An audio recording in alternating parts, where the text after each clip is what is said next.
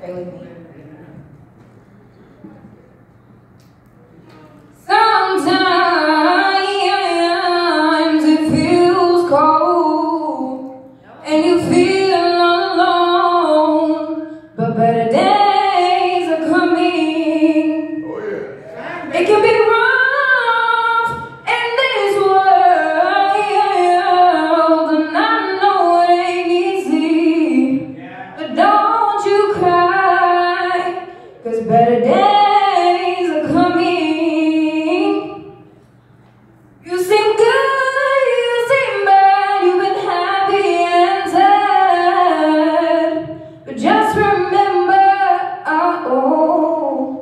Better days, better days, better days are coming.